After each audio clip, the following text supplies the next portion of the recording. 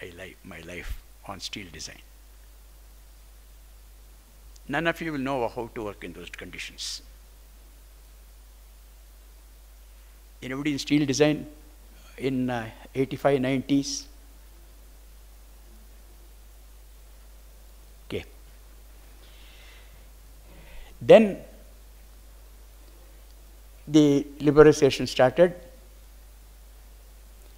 The pre-engineered building came in. Butler building system had two, uh, I don't know, I don't call them agents, but there are two firms, Shapoorji in north and Coromandel Engineering Company in south. Ford came out first of the pre-engineered buildings. It has to be imported from Butler building system. Chennai Customs did not know how to fix the custom duty on that. Material was lying in the harbor for six months. All construction schedule gone haywire. With that, subsequent constructions in Ford and subsequent constructions in Hyundai were done with steel truss fabrication, fabrication done at site. Then wisdom dawned on our custom people, then uh, we are today where we are. We were then, to use Newton's words, children picking pebbles on the seashore when the vast sea of knowledge remained to be explored.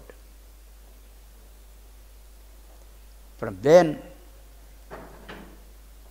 post 95, post 2000, there is no looking back.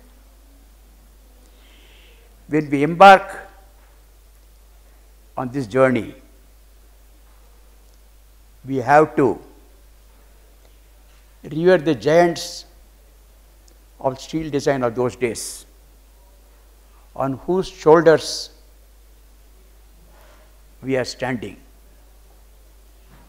I have to mention the names of Mr. Desai of the Student Company, Professor Varghese, Mr. Aparao of CRC, Mr. Ra- Mr. Raghavendra of IS, Professor Rammurthy. ఎంతరో మానవాడు అంతరికి వందనం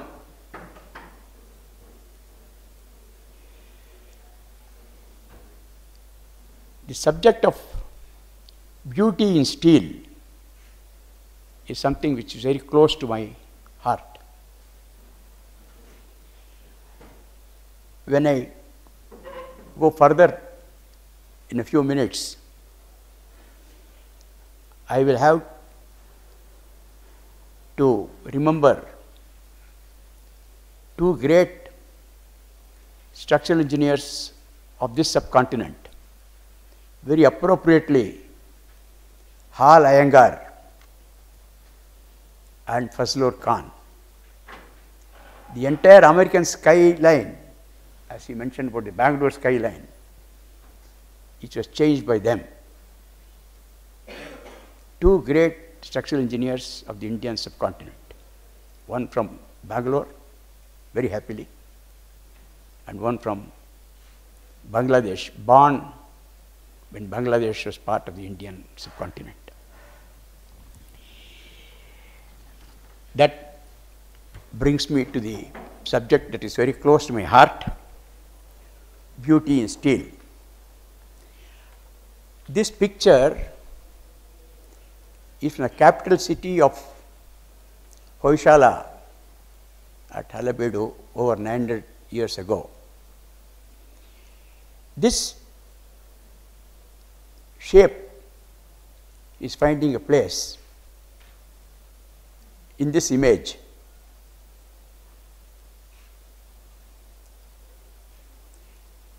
This great structural engineer was the man who designed it. He was the winner, of the first Fazlur Khan medal winner, the other great engineer from the Indian subcontinent.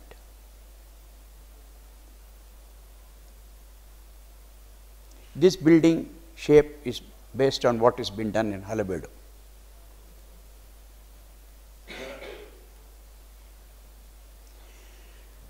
When you want to go to the past, we turn to steel. This is the Louvre Museum. Napoleon had a great, wanted to conquer Egypt and gateway to India. And his dream was to build a pyramid, and subsequently the French rulers did it. That's steel.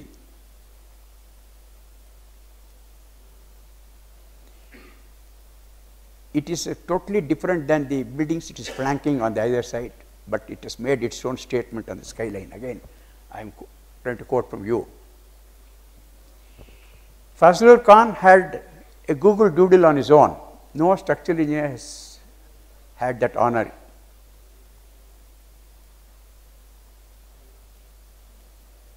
Their framing concepts were far ahead of the time. The Crystal Palace, built over 150 years back, is a classic example of steel and glass and benchmark for all future steel and glass constructions.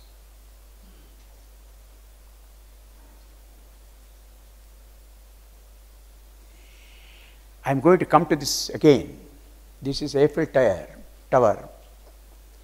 When it was built, it was declared as the, one of the ugliest buildings in Paris. And this structural engineer went on to design the all these buildings and the Liberty Statue in the United States.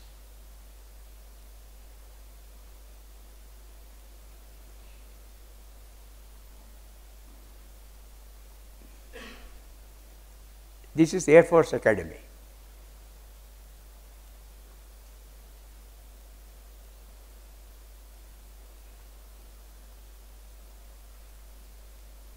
Uh, I am going to connect up all this in a few minutes.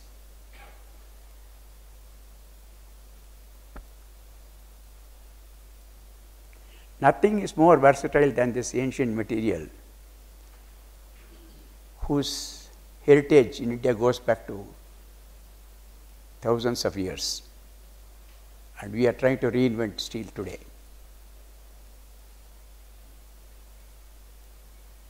Ashish Anish Kapoor, interesting Indian name.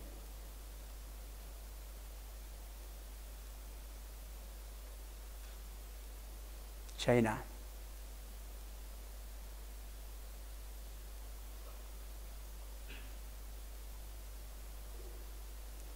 Fold it, bend it, curve it. This is material that we can do.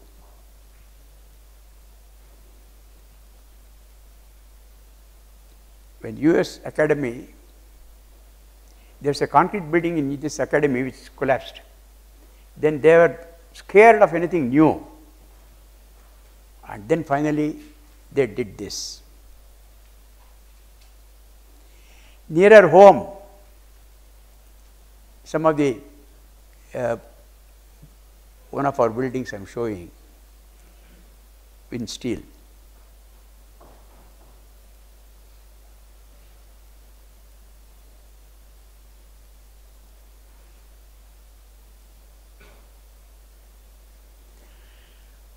What do we do? When Bangalore wanted to build a steel building, steel bridge, this is what we do. We catch hold of two young children. What do they know of steel?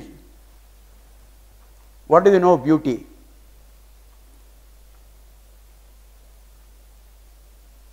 And we allow this to happen within anybody raising a, their little finger in protest.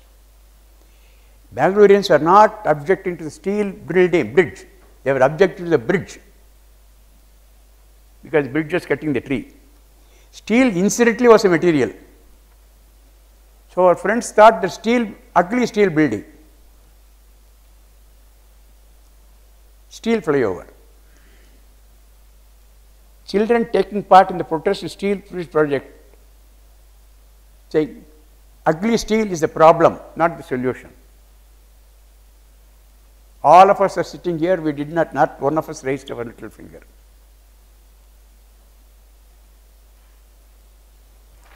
So I think we should get into a more aggressive system where we have to uh, make people understand that steel is a beautiful material. It will dictate the skyline, it will dictate the usage, cost, effectiveness, efficiency, carpet area, packing more build, more height into the same building, uh, uh, uh, same site regulations. All that is extremely interesting. But you have to carry, we have to change the mindset. Somebody talked of steel penetration in the Indian market 0.1 percent to something else to United States. We have to look into it in a manner that doing work, please pardon me, doing work without advertisement is like winking at a girl in the dark. You know what you're doing, the girl does not know. The very purpose is lost. When Prince Charles, His Royal Highness, he commented that uh, the British architects have spoiled the London skyline more than what Germans did through their Blitz. The president of the Royal Institute of British Architects came out strongly against the royalty with their passion for arches and porches. Let us, at the end of the day, let us work out a program to get people to understand the steel bridge is not ugly. Steel bridge will complete that road work in about one fourth of the time. I know, I don't know how many people are from Chennai. In Chennai, that stupid Kathipara junction leading from airport to the city, it had at least swallowed one hour of travel time for all the busy bodies of Chennai going from city to the airport and back. If only they had done it in steel, whatever 30 percent cost, uh, 500 rupees a square feet, they would have recovered it in no time. So, uh, we have to please uh, change one person, each one of us will change one person, his way of thinking, then whatever you have come here, whatever you are turning today, we would have repaid our gratitude to the organizers of this seminar.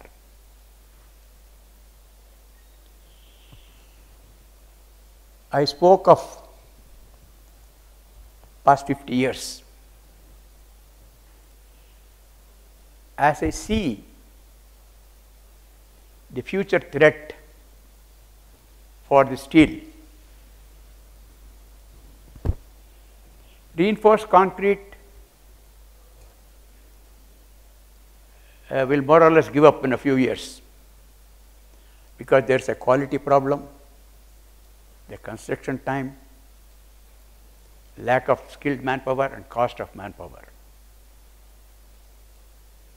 The steel will very quickly catch up with uh, reinforced concrete. I not not probably in my lifetime, but maybe in about 10, 12 years from now, we will have a situation that steel will give a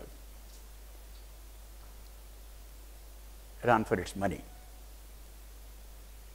in the segments that we are very strong. We are very strong in 20 and 50 over matches. But where do I see the threat? I see the threat in the precast concrete industry. Precast, pre-stressed concrete industry is where I see a threat. Because precast, pre-stressed concrete industry will answer all the quality problems, will give you M40 concrete off the shelf. Members will become thinner with pre-stressed concrete. It will answer every one of the points that we have just mentioned. Transportation, same for you, same for them.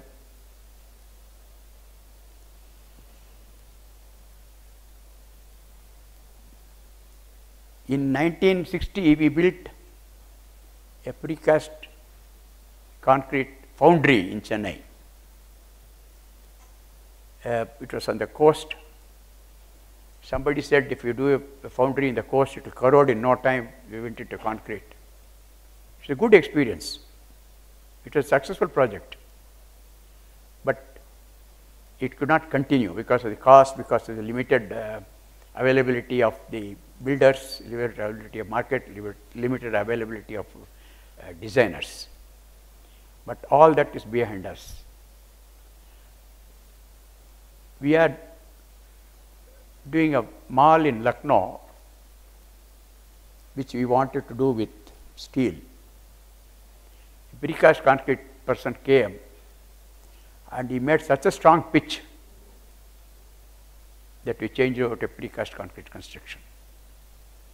As I see now, the threat will be not today, not, not immediate. Uh, none of us need to lose any sleep on that.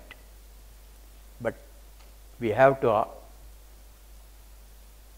arm ourselves to face that particular challenge. They will, concrete is a very strong lobby. They will push for partial pre-stressing. That means like reinforced concrete, certain amount of cracking will be accepted in precast. Today precast concrete is full pre-stressed. If they accept partial pre-stressed, they will get it in the Indian code. That's a very strong concrete lobby. The steel lobby is not there. Unlike steel lobby where we are trying to cut down the weight, concrete lobby is going for use of more and more cement. They want minimum cement content to be M30. I started my life with 124 concrete. I did not know what M15 is. Today M15 is a mud. So that lobby, if they get into partial pre-stressing, the cost benefit will also go. Friends, that's in my that's where I see the threat, and it's for us to see how best we can.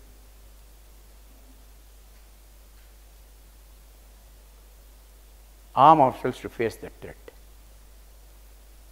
The second threat is from the public, this kind of stupid newspaper publication, and all of us are resting on our uh, wars. So, two things I will say that please get people to understand what steel is all about. Go to schools, go to colleges. See, Andhra government is building, in three months, they are going to build about 800 check dams. They don't have engineers to supervise. They are asking all the final year civil engineering students to go and do the supervision. Go to the school, go to the colleges. INSDAG was trying to do something.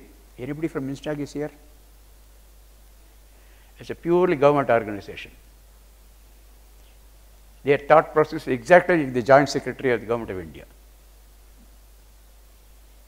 With friends like them, we don't need enemies.